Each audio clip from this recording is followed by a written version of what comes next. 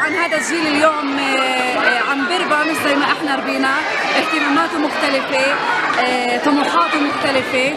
آه، طبعا إحنا جيل كان يهمنا نلعب بالبالون وبالطابة وحتى بالبنانير وبزر المشمش هذا الجيل اليوم آه، جيل التكنولوجيا المعاصر للعولمة. آه، أغلب وقتنا على التليفونات على الأجهزة التكنولوجية اللي بتكون موجودة. بنحاول قدر المستطاع إحنا الحقيقية عن طريق الفعاليات التربوية المدروسة اللي إحنا بنعملها للأطفال.